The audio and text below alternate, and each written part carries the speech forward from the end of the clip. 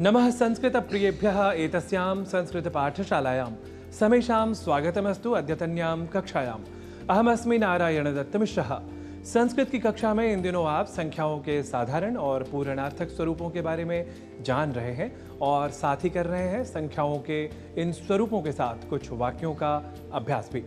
तो आज इस क्रम को आगे बढ़ाते हुए संख्या नौ के संस्कृत प्रयोगों को उसके साधारण स्वरूप के साथ अच्छे तरीके से जान लेते हैं। संख्या नौ के लिए संस्कृत में हम साधारण रूप से कहते हैं नव। और यहाँ ध्यान दीजिए कि नव, यह शब्द संस्कृत वांग्मय में एक बार आपको नए के अर्थ में भी प्रयुक्त मिलेगा। यह बस ऐसी ही समानता है जैसे कनक कनकते सौगुनी मादकता अधिकाय जैसे प्रयोगों में कनक इस एक शब्द के दो अर्थों को आप जानते हैं। यानी कनक का एक अर्थ सोना या स्वर्ण और कनक का दूसरा अर्थ धतूरा, यह माना जाता है। तो बस ऐसे ही यहाँ नव शब्द के दो अर्थ होते हैं। अर्थात एक नया और, जी हाँ क्योंकि हम इस समय बात कर रहे हैं संख्याओं की तो नव का अर्थ नया यह न समझकर संख्या नौ, यह ही समझना है। तो इस नौ शब्द के पुल्लिंग, स्त्रीलिंग और नपुंसक लिंग स्वरूपों में कोई परिवर्तन नहीं होता। अर्थात सभी लिंगों में नौ के लिए संस्कृत शब्द होगा नव। यहाँ यह स्मरण रख लें कि संख्या एक हमेशा एक वचन में होता है, जबकि संख्या दो का हमेशा द्विवचन में ही प्रयोग होता है, जबकि संख्या तीन और उसके बाद की अन्य संख्याएँ सामान्य रूप से बहुवचन में ही प्रयुक्त हुआ करती हैं। हमने सामान्य रूप से इसलिए कहा क्योंकि संख्या तीन के बाद, यानी बहुवचन के रूप में समझी जाने वाली ऐसी कई संख्याएँ हैं जिनका संस्कृत में बहुवचन के अतिरिक्त एक वचन में भी प्रयोग दिख जाया करता है। इस बारे में भी हम आपको यथा समय उन संख्याओं के क्रम के समय बताएँगे। तो अभी हमें यह स्मरण रखना है कि संख्या तीन के बाद की संख्याएँ साधारण रूप से बहुवचन में ही प्रयुक्त हुआ करती हैं। अतः संख्या नौ भी संस्कृत में नव इस साधारण स्वरूप के साथ बहुवचन में ही प्रयुक्त हुआ करती है। यह स्पष्ट हुआ। इस तथ्य को जान लेने के बाद आइए तीनों ही लिंगों में एक समान स्वरूप वाले नव शब्द का कुछ वाक्यों के साथ प्रयोग कर लेते हैं। सबसे पहले कर लेते हैं नव इस संख्या का पुल्लिंग में वाक्य प्रयोग। देखिए, हम हिंदी में कहते हैं, ज्योतिष शास्त्र में नौ ग्रह स्वीकारे जाते हैं। इसे संस्कृत में कहेंगे, ज्योतिष शास्त्रे नव ग्रहा स्वीक्रियंते इसी तरह हम हिंदी में यदि कहेंगे कि कार्यालय में नौ लिपिक या टाइपिस्ट हैं तो संस्कृत में इसका वाक्य प्रयोग होगा, कार्यालय नव लिपिका संति यहाँ नवग्रहा और नवलिपिका जैसे उदाहरणों में ग्रह और लिपिक, ये दो पुल्लिंग शब्द हैं।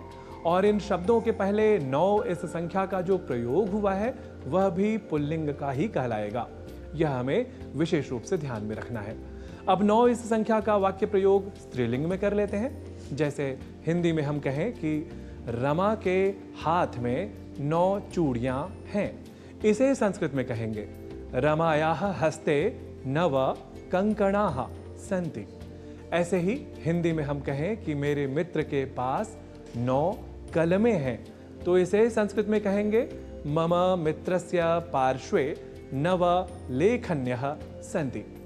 यहाँ नव कंकणा और नवलेखन्य जैसे उदाहरणों में कंकण और लेखनी, ये दो स्त्रीलिंग शब्द हैं और इन शब्दों के पहले नौ, इस संख्या का जो प्रयोग हुआ है, वह भी स्त्रीलिंग का ही कहलाएगा। यह हमें विशेष रूप से ध्यान में रखना है।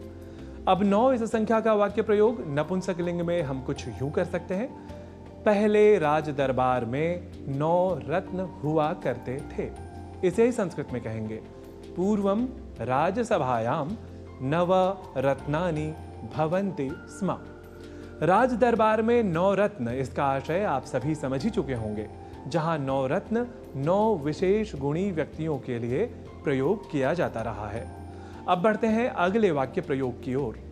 राहुल सांकृत्यायन की नौ पुस्तकें मेरे पास हैं। इसे संस्कृत में कहेंगे राहुल सांकृत्यायनस्य नव पुस्तकानि मम पार्श्वे संति यहाँ नवरत्नानि और नव पुस्तकानि जैसे उदाहरणों में रत्न और पुस्तक, ये दो नपुंसक लिंग शब्द हैं और इन शब्दों के पहले नौ इस संख्या का जो प्रयोग हुआ है, वह भी नपुंसक लिंग का ही कहलाएगा। यह हमें विशेष रूप से ध्यान में रखना है। तो आज आप सभी संख्या नौ के साधारण संस्कृत स्वरूप से हुए परिचित। अब संस्कृत पाठशाला की अगली कक्षा में जानेंगे संख्या नौ के ही पूर्णार्थक शब्दों के संस्कृत स्वरूप के बारे में। तब तक के लिए मुझे दीजिए अनुमति। नमो नमः।